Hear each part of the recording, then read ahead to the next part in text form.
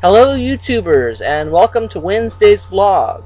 Um, in reality it's Tuesday night, but you don't know that. Um, today I'm going to talk about two things. One, I'm going to talk about a drug that scientists are using to ex extend the lifespan of a mouse. Um, I go to a local college and one of the ethics professors was talking about this.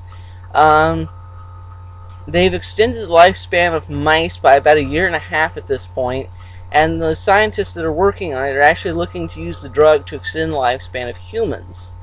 Um, the ethics professor kind of thinks this is unethical. Um, you know, uh, who are we human beings to play God? Um, you know, I think it would be nice if humans lived longer. Um, you know, we all have people that we don't want to lose, and you know, if they lived longer, we'd have more time. But uh, in the long run, you know, we're just mere mortals. So, um, in the long run, I'm going to have to take the professor's side on this one. I do think it's wrong to extend the lifespan of humans because, you know, we're just mortals and I think we're playing with fire.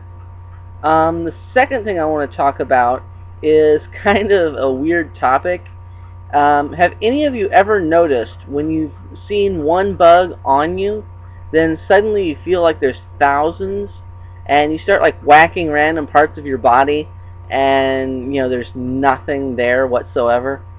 Um, I'm sitting outside right now in the outdoor office, and uh, earlier there was a couple. I had a couple of mosquitoes, and now I feel like I'm covered in them. And, uh, you know, I'm wondering if this is just me or, you know, have any of you had this experience as well. So leave a comment down below and tell me what you think.